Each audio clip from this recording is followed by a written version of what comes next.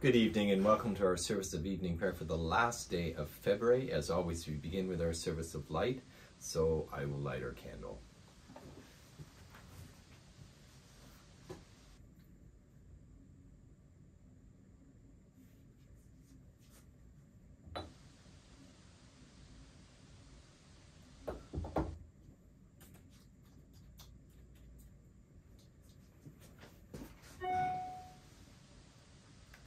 Light and peace in Jesus Christ our Lord. Thanks be to God. Jesus Christ is the light of the world, a light no darkness can extinguish. And we're going to be singing our hymn throughout the service. It's hymn number 631. The kingdom of God is justice and joy, and we'll sing the first verse now. The kingdom of God is justice and joy. For Jesus restores what sin would destroy. God's power and glory in Jesus we know. And here and hereafter the kingdom shall grow. And our psalm is Psalm 47, which we say together. Clap your hands, all you peoples. Shout to God with loud songs of joy. For the Lord the Most High is awesome, a great king over all the earth. He subdued peoples under us, and nations under our feet. He chose our heritage for us, the pride of Jacob whom he loves. God has gone up with a shout, the Lord with the sound of a trumpet. Sing praises to God, sing praises. Sing praises to our King, sing praises. For God is the King of all the earth. Sing praises with a psalm. God is king over the nations. God sits on his holy throne. The princes of the peoples gather as the people of the God of Abraham. For the shields of the earth belong to God. He is highly exalted. Glory to the Father, and to the Son, and to the Holy Spirit, as it was in the beginning, is now, and will be forever. Amen. And now we'll sing the second verse of our hymn. The kingdom of God is mercy and grace. The captives are free, the sinners find place. The outcasts are welcomed, God's banquet to share. And hope is awakened in place of despair.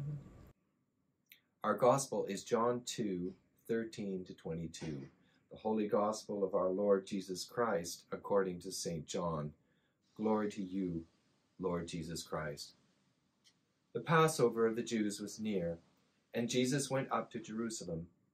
In the temple he found people selling cattle, sheep, and doves, and the money changers seated at their tables.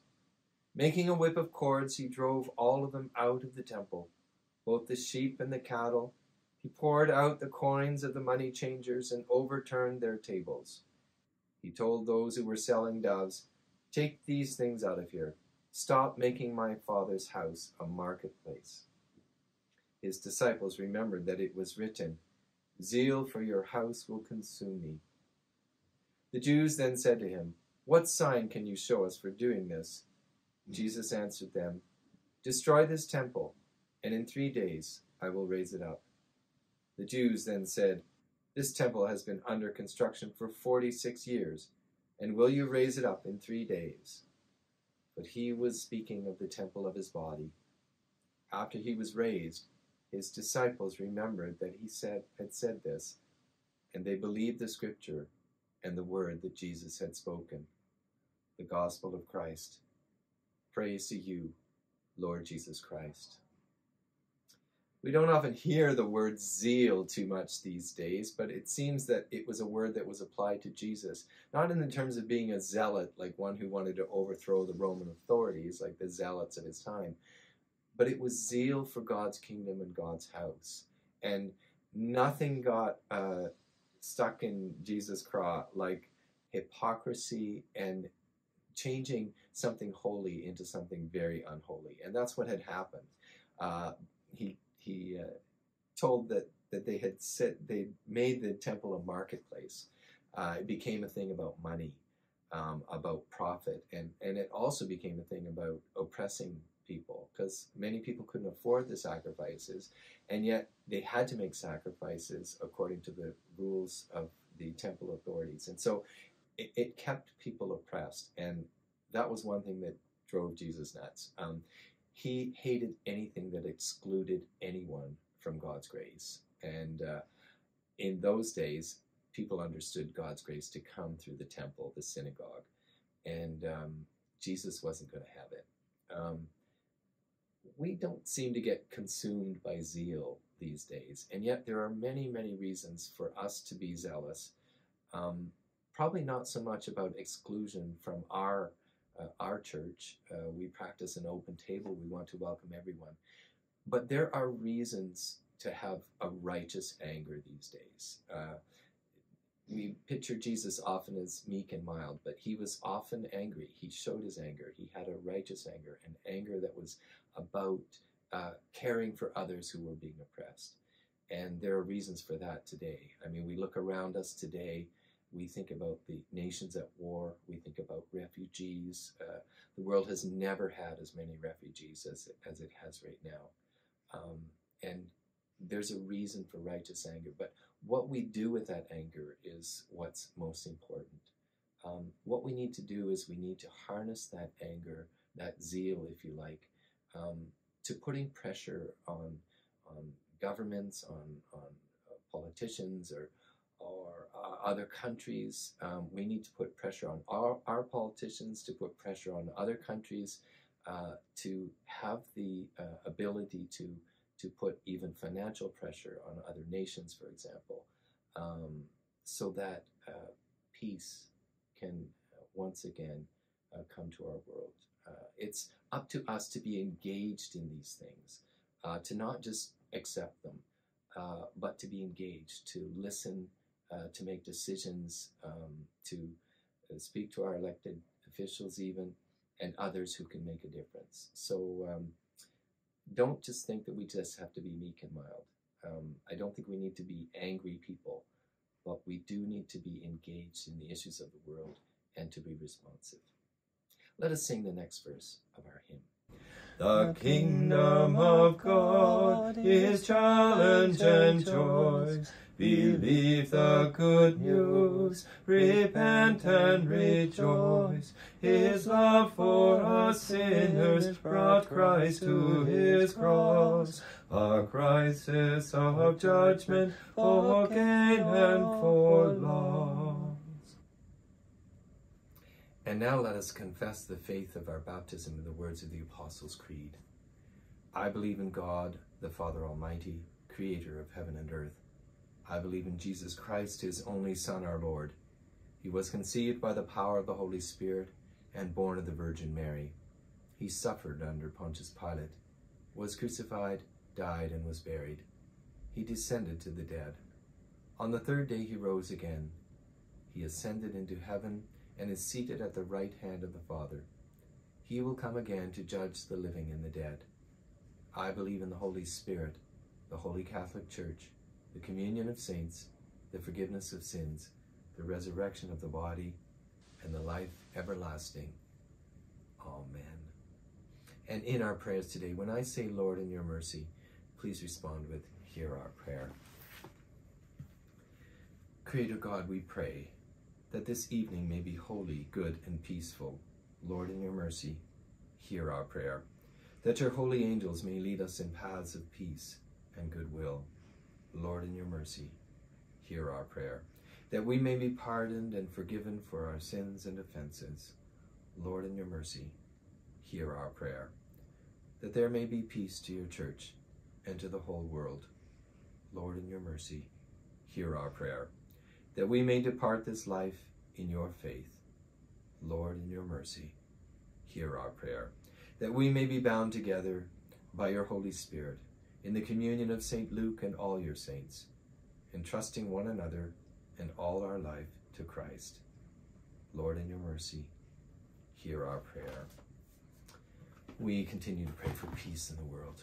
We pray for people in Ukraine, for people in Syria, Iran. We pray for many people who are suffering because of war and discord in Africa, in Asia, in the Americas. We pray, O Lord, that we might be engaged in peacemaking. We pray, O Lord, for refugees as they are trying to find a way to live a dignified life. Keep them full of hope. Give them your grace. And may we be welcomers. Lord, in your mercy, hear our prayer. We pray for the sick, uh, those known to us, those unknown to us, uh, for those in our community, and especially today we pray for Jane Ross, Jeff Smith, Corinne Newell, Marion Conlon, Alec Dickerson, Edith Walsh, David Reed, Olive Mold, Yvonne Lytle, Brent Jones, and Katie McKenna. We pray, O Lord, for all the sick, that they might know the healing touch of Jesus and have wholeness of being in body, mind, and spirit. Lord, in your mercy, hear our prayer. We also pray for those who have died, and today we pray especially in memory of Vic Burden and Don Russell. We pray, O Lord, for their family and friends and all who mourn their loss.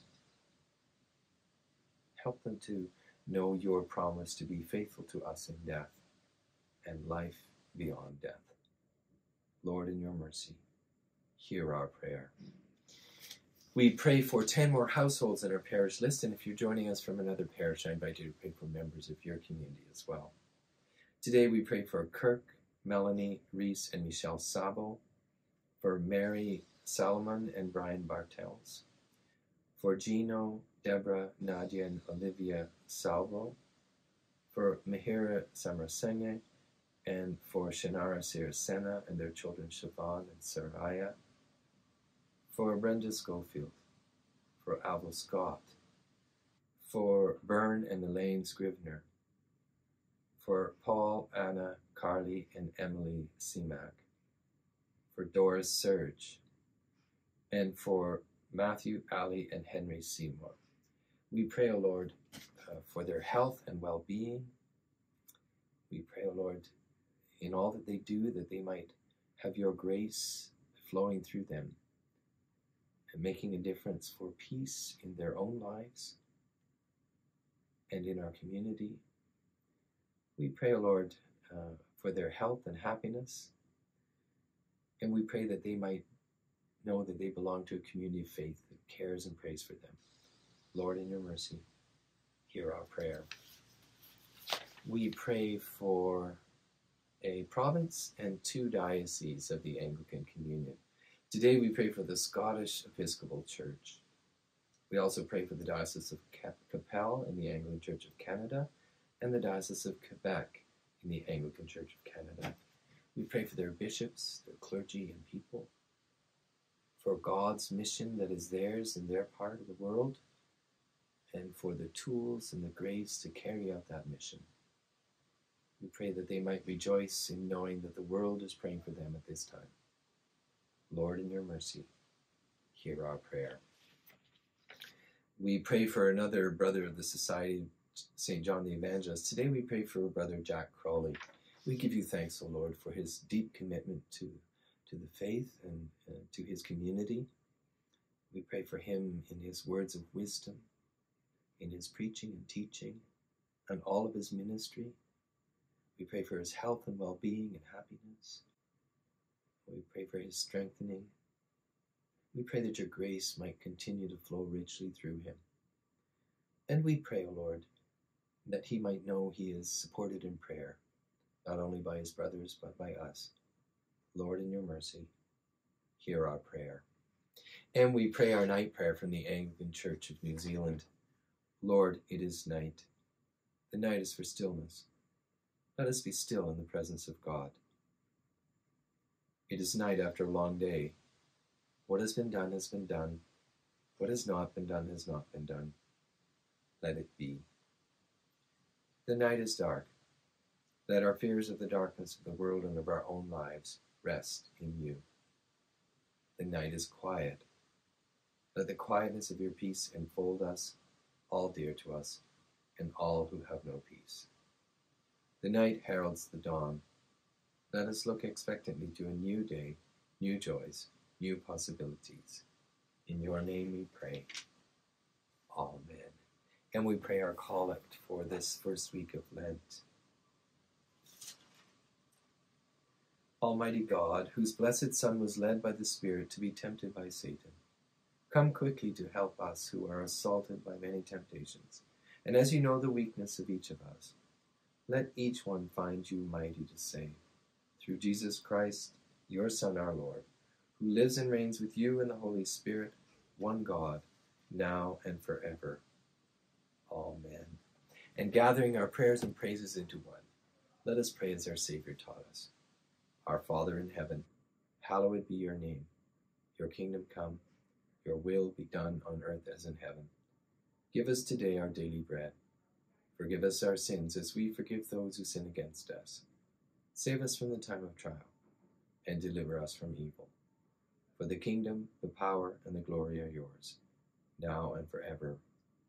Amen. And now let us sing the last verse of our hymn.